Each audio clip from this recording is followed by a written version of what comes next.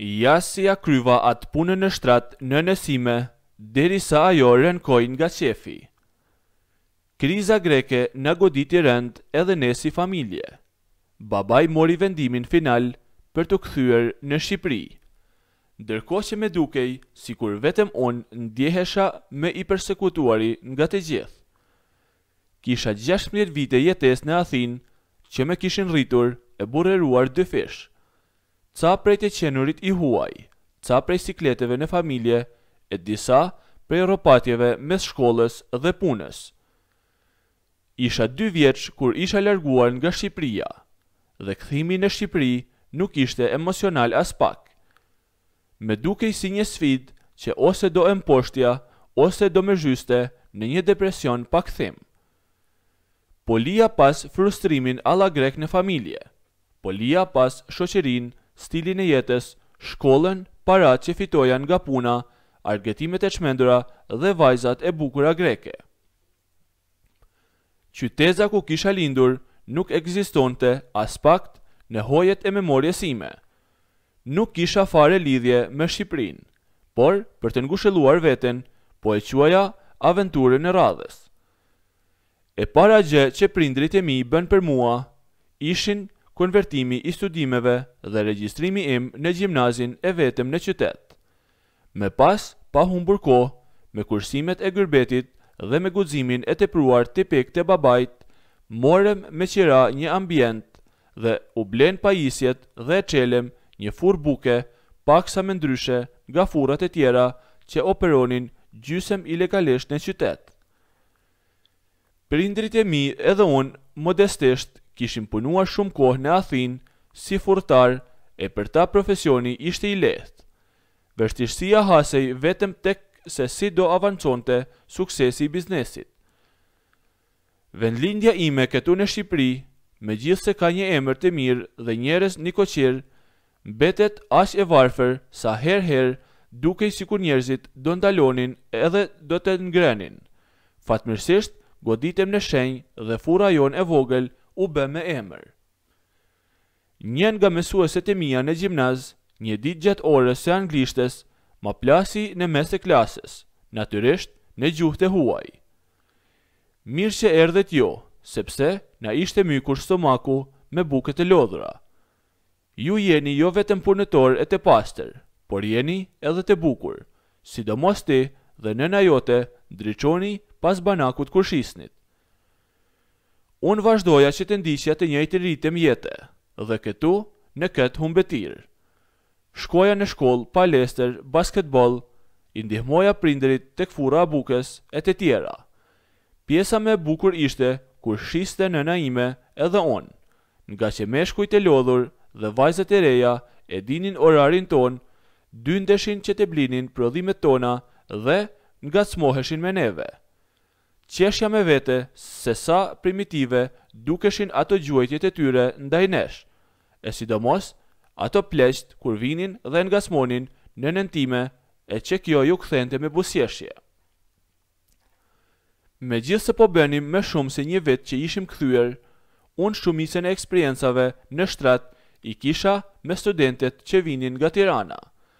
Ato më dukeshin më të ftilluara e më të çlirta, dinin se si puthej një mashkull, dinin se si të morniconin edhe trupin kur bëja atë punën në shtrat me ato. Ndryshe nga këto laraskat e këtushme e qanin edhe atë shkopin kur ma merrnin në gojë. Megjithëse kot mburresha edhe unë. Si djalë edhe unë lirinë time tre çerekshe e kisha. Babai, që nuk mund ta bëra kurrë shok, po ma nxinte jetën. Duke jetuar në një qytet të vogël, më kishte lënë edhe lakun e argëtimeve në fytin tim. Zyrtarisht në familje, megjithëse ishim vetëm tre vetë, nuk i kishim dhënë njëri-tjetrit lirinë dhe konfidencën e duhur. Babai tipik si prej këtyre anëve, kontrollonte jo vetëm financat e familjes, por edhe shkollimin tim. Oraret e nënës gjatë punës, njohjet e mia dhe babai donte t'i kishte në dorë që të gjitha. Për të qenë i sinqertë, babai kishte filluar që të na nxinte jetën më keq se bukët e djegura kur i harronim gjatë natës në furrë. Por unë, si mashkulli i dytë në vatrën tonë, kisha fiksim të aktroja si të isha një toger. Një nga arsyet pse e doja kthimin e sforcuar në Shqipëri ishin edhe prindërit. Qysh kur babai im më pëshpëriti një herë në vesh për nënën time, gjithçka ndryshoi tek unë. Ti tani je burrë, më tha ai. Kishte afruar buzët e ujdisura me mjekrren e zezë pranë veshit tim. Ti tani je gati tetëmbëdhjetë vjeçar dhe kupton nga dynjaja, vazhdonte monologun Babai im në një natë të Vitit të Ri, kur si familje kishim shkuar të argëtoheshim me miqtë tonë nga Greqia e disa edhe shqiptarë. Unë i hutuar nga atmosfera festive, nuk po ua kapja fillin fjalëve të babait, e ngaqë fryma e tij e nxehtë, e mpleksur me uzon e festës më gudulisnin deri poshtë daulles së veshit, E mora si një broçkullitje e dehjes, por babai kokëfortë si gjithmonë ngulmonte edhe më shumë. Ai më thoshte mua, A shikon nënën tënde? A shikon se si këto pushtat rreth e qark po e shikojnë? A shikon se si po e përpijnë me sy sikur ta kenë gruan e tyre? Më thoshte mua babai im A shikon do pak nënën tënde se sa nxehtë kërcen kjo kur i ka përreth këto grekët e poshtër Babai po e shprehte xhelozinë ndaj nënës me mua Pastaj më tha jo vetëm unë Por edhe ti duhet ta ruash nënën tënde sepse ne jemi refugjatë dhe greku ta përlan ta përlan si gruan e Sotirit ta përlan e ty të lë në mes të rrugëve po ashtu edhe mua si kukudh mbaj mend që mbylla sytë mbulova fytyrën me duart e djersitura dhe nuk doja të shikoja nga turpi që ndieja e as njerëzit vërdallë As babain që më krisi frymëmarrjen dhe as nënën time nuk doja ta shikoja e cila qeshte me burrat grekë dhe shkëlqente mes tyre aty në festën e vitit të ri. Pas fjalëve babai iu kthye pijes me dolli ndërsa unë rrëshqita për në banjo. U kyça brenda banjos dhe kundroja veten në pasqyrë. Doja t'i flisja vetes, por fjalët e babait më bënin aq me turp po aq edhe agresiv. Viti i ri që gdhiu pas pak minutash më gjeti më të rritur e më të përgjegjshëm. Tani e tutje përveç obligimeve modeste më duhet që të ruaja edhe nënën time që mos ta kryente atë punën me ndonjë grek. Ajo ishte vërtet e bukur, me forma llahtar të frikshme dhe bukuria e saj më kallte datën. Kisha frikë se mos ma rrëmbenin grekët, shqiptarët apo edhe bullgarët që gjendeshin në Greqi. Bukuria e nënës dhe xhelozia e babait më kishin tjetërsuar. Po shikoja nënën me një sy tjetër dhe ende nuk e kuptoja se xhelozia ime ishte e tepruar. Por unë asnjëherë nuk i rash në sy nënës sime.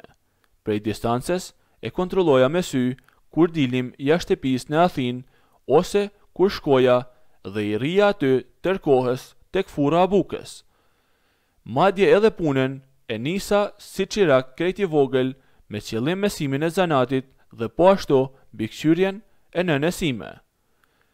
Çdo blerës mashkull më dukej sikur vinte enkas për të, por t'ju them të drejtën, ashtu fshehurazi ndjehesha edhe mirë. Por sidoqoftë, kur ndodhi e gjithë kjo ngjarje që do ju tregoj tani se si e kryva atë punën në shtrat me nënën time sapo i kisha mbushur tetëmbëdhjetë vjeç. Isha i vetëm në shtëpi, Babai kishte dalur me shokët e vet ndërsa nëna po shiste bukë në furrën tonë. U zgjova dhe e pashë që aty tek shtëpia në kuzhinë nuk kishte asgjë për të ngrënë, prandaj u nisa për tek furra e bukës më herët se zakonisht. Shkova aty dhe për çudi, furra ishte e mbyllur me çelës. Nuk e dija se çfarë kishte ndodhur. Provova që ta merrja babain në telefon, por ai nuk ma çonte telefonin.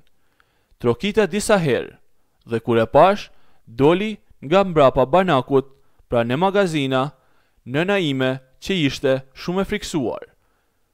I rashë xhamit disa herë, e pastaj nëna u fut në magazinë dhe doli që aty një burrë grek të cilin e kisha parë edhe disa herë të tjera.